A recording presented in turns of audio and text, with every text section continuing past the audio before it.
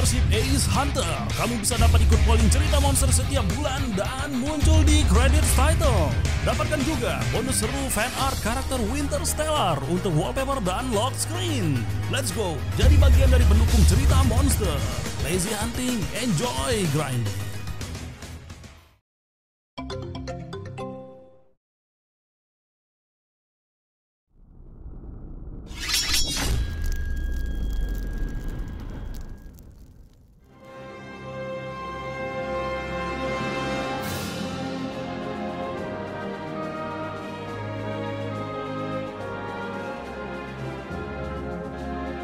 Dunia Monster Hunter Tempat di mana banyak sekali lahan kaya akan energi yang menjadi sumber kehidupan bagi segala makhluk hidup.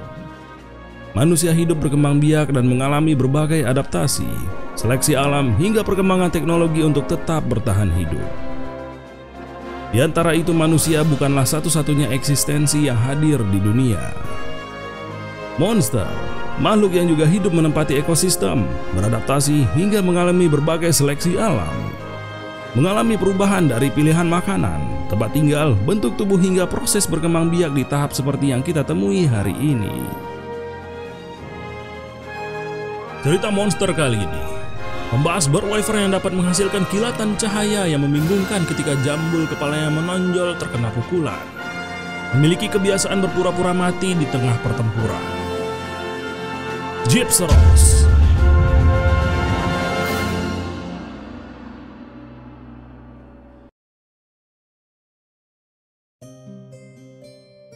Gypseros. Nama Jepangnya adalah Geryosu. Gypseros memiliki julukan sebagai Doku Kaicho yang berarti strange poison bird atau burung racun yang aneh. Gypseros adalah salah satu bird wyvern terbesar dan terberat yang diketahui. Ciri-cirinya yang paling menonjol adalah lambang seperti lampu di atas kepalanya dan kulitnya yang kenyal dan tahan terhadap guncangan. Dia memiliki ekor panjang berwarna merah muda dengan ujung berbentuk bulat dan berwarna biru keabu-abuan. Dia juga memiliki sejenis kantung racun yang memungkinkannya untuk menghasilkan cairan beracun untuk digunakan melawan para penyerangnya. Gypseros termasuk dalam order Saurisia, suborder Birdfeed, infraorder Bird Wyvern, superfamily Unknown, dari family Gypseros.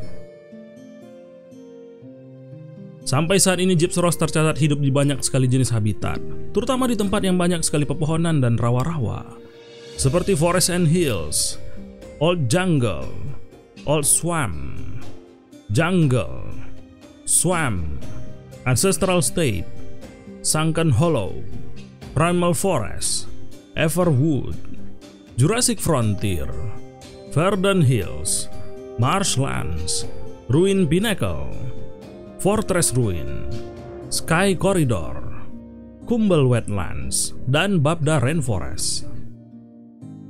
Bird Wyvern yang menyebalkan ini memiliki tubuh dengan bentuk cukup besar dibandingkan Bird Wyvern lainnya, yaitu panjang tubuhnya mencapai 1013 cm, tinggi tubuhnya mencapai 457 cm, dan ukuran jangkauan kakinya mencapai 130 cm. Gypseros adalah monster yang ikut pertama kali muncul di generasi pertama Monster Hunter. Lalu dia juga muncul di banyak sekali generasi Monster Hunter setelahnya, yaitu Monster Hunter G, Monster Hunter Freedom, Monster Hunter 2, Monster Hunter Freedom 2, Monster Hunter Freedom Unite, Monster Hunter 4 dan 4 Ultimate, Monster Hunter Gen dan Gen Ultimate. Gypseros juga muncul di series Frontier, yaitu dimulai dari Monster Hunter Frontier, Monster Hunter Frontier Season 2 hingga season ke-10, Monster Hunter Frontier Forward 1 hingga Forward 5, Monster Hunter Frontier G hingga G10, Monster Hunter Frontier Z, Monster Hunter Frontier Z Zenith. Selain itu, Gypseros juga tetap muncul di beberapa title spin-off, yaitu Monster Hunter Online, Monster Hunter Stories, Monster Hunter Stories 2, Monster Hunter Riders, dan Monster Hunter Spirits. Gypseros adalah spesies bird wyvern aneh yang terutama dapat ditemukan menghuni lahan basah dan hutan. Dikenal sebagai burung racun aneh karena sifatnya yang sangat beracun monster ini memiliki beberapa adaptasi dan perilaku aneh yang membedakannya dari berwyvern lainnya. Tidak seperti wyvern lainnya, Gypseros tidak memiliki jenis sisik atau cangkang apa pun yang menutupi tubuhnya sama sekali. Daripada salah satu atau keduanya, Gypseros malah memiliki kulit kenyal dan sangat elastis. Kulitnya yang kenyal sangat tahan terhadap air, sehingga menjadikannya adaptasi yang sempurna untuk lingkungan lembab. Lalu juga sifat insulasinya yang dapat melindungi Gypseros dari sengatan listrik yang hebat. Karena sifat elastis pada kulitnya yang kenyal, kulitnya juga mampu menyerap berbagai jenis hantaman berbagai serangan. Gypseros bahkan mampu merentangkan ekornya karena elastisitas kulit yang sangat tinggi.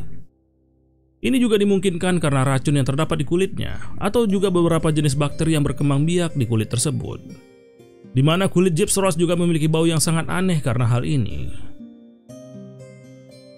Seperti yang disebutkan sebelumnya, Gypseros memiliki sifat beracun, di dalam tubuhnya terdapat sejenis kantung racun yang memungkinkannya untuk mengeluarkan racun dari mulutnya ke arah musuh. Meskipun racunnya tidak terlalu kuat, namun jumlah racun yang dimuntahkan dalam jumlah besar dalam satu waktu dapat mengancam jiwa manusia dan monster. Racun dari Gypsoros ini cukup kuat untuk membunuh berbagai jenis tanaman di sekitarnya, membuat berwyvern ini menjadi gangguan bagi sebagian orang. Tetapi meskipun racun adalah sebagian dari senjata pertahanannya, Gypseros ternyata adalah monster jenis yang pemalu. Dia lebih memilih melarikan diri dari perkelahian daripada harus bertahan. Dibandingkan monster berukuran besar kebanyakan, Gypseros memiliki stamina dan kecepatan serangan yang luar biasa. Wyvern ini memiliki cairan tubuh khusus di mana power dan dash ekstrak yang mengalir dalam tubuhnya, sehingga ini akan memberikannya banyak sekali energi dan membuatnya terus bergerak tanpa mudah lelah. Dengan bantuan kakinya yang berotot, Gypseros bahkan mampu berlari melintasi tembok tanpa kesulitan sama sekali. Di atas kepala Gypseros, terdapat lambang seperti sisir yang digunakan sebagai alat pertahanan terakhir terhadap ancaman. Dengan sejenis lambang ini, dia mampu mengeluarkan kilatan cahaya yang menyilaukan. Gypseros juga memiliki mineral di dalam jambulnya, dan dengan memukul jambul tersebut dengan ujung paruhnya, Mineral di dalam bagian tersebut dapat menghasilkan percikan api yang kemudian dapat meledak seperti jenis batu api. Sehingga reaksi ini menghasilkan kilatan cahaya yang menyilaukan yang akan membutakan dan membuat makhluk di sekitarnya menjadi pingsan seketika. Berbagai jenis pecahan biji logam dan kristal, seperti light crystal, dapat ditemukan di bagian crash atau jambul dari Gypseros. Gypseros juga benar-benar kebal terhadap serangan flash bomb. Ini dimungkinkan karena mereka sering sekali melihat efek flash dari jambulnya.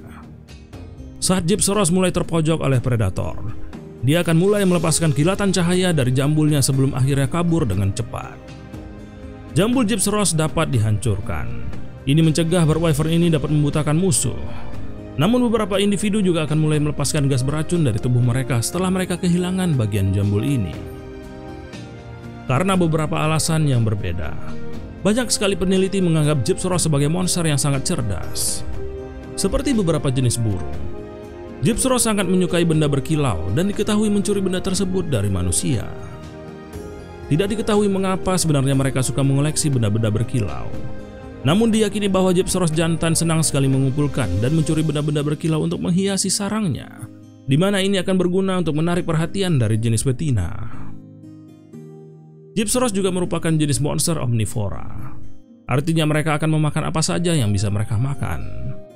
Selain itu karena sifatnya yang penasaran, Gypsros juga akan mencuri barang-barang yang dapat dimakan, seperti thunderbug, meat, herb, dan lain-lain.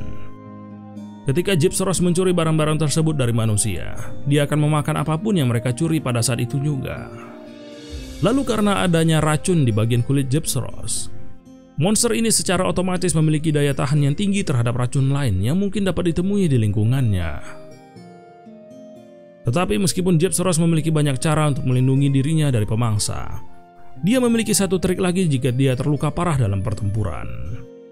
Jika Jeff Soros menerima banyak sekali luka akibat ancamannya, dia akan terjatuh ke tanah dan mulai berpura-pura mati. Jeff Soros akan melakukan ini untuk membodohi musuhnya dan berpikir bahwa dia telah terbunuh dan tetap tidak bergerak selama mungkin, sambil akhirnya menunggu ancaman untuk melepaskan pertahanannya atau memilih untuk pergi. Rumornya bahkan Jeep Soros dapat berpura-pura mati selama berjam-jam jika diperlukan. Dan beberapa hunter bahkan dapat melakukan carve atau mengukir bagian tubuhnya saat dia masih hidup. Jika ancaman menurunkan kewaspadaannya dan terlalu dekat dengan Gypsaros, Gypsaros akan tiba-tiba meronta-ronta dan bangkit kali sebelum akhirnya melanjutkan pertarungan. Lalu jika ancaman sudah mulai hilang, para Gypsaros akan menunggu hingga musuh dipastikan hilang dari pandangannya, sebelum pada akhirnya dia akan bangkit dan mundur ke lokasi yang lebih aman. Beberapa hunter pemula juga sering sekali tertipu oleh trik ini, dan beberapa dari mereka bahkan dikirim kembali ke lokasi sebelumnya untuk membunuh individu yang sama yang mereka buru beberapa hari sebelumnya. Seorang hunter juga perlu sekali untuk mewaspadai jenis bird wyvern penipu ini, terutama saat dia sudah mulai hampir mati. Karena kulitnya yang kenyal dan elastis seperti isolator, Gypsaurus benar-benar kebal terhadap jebakan kejut atau shock trap. Beberapa menggunakan kulitnya untuk membuat baju besi tahan petir dan tahan air, sementara beberapa orang lain dapat menggunakannya untuk senjata.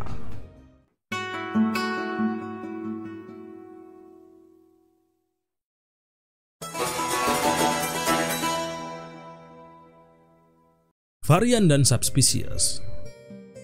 Purple Gypsaros Nama Jepangnya adalah Geryoshu Ashu.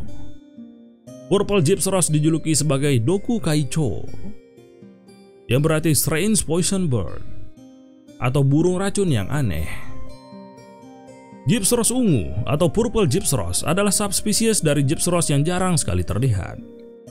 Dia memiliki banyak sekali adaptasi yang sama dengan gypsaros pada umumnya, tetapi ada beberapa perbedaan di antara kedua spesies tersebut.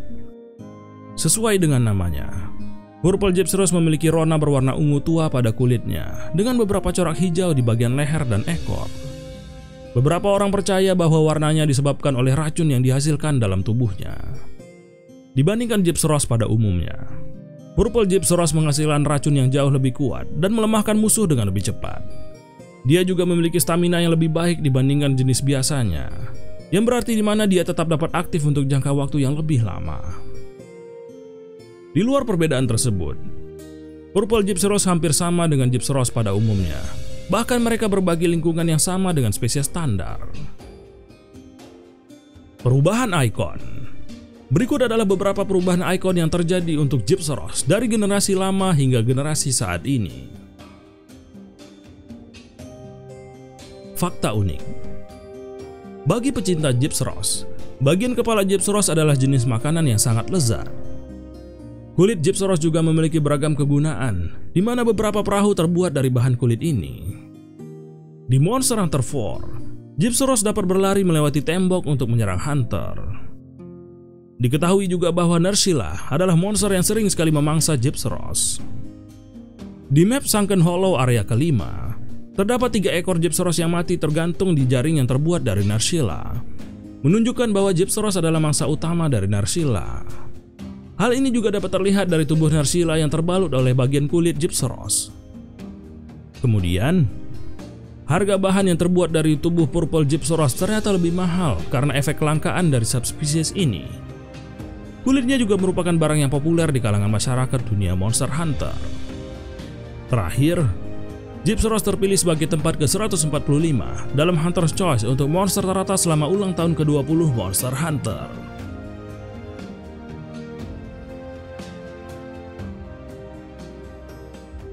Nah, gimana? Kalian suka? Tulis di komen. Monster apa lagi yang bakal kita cover di lore berikutnya? Terima kasih sudah nonton. Sampai jumpa di cerita monster yang lainnya.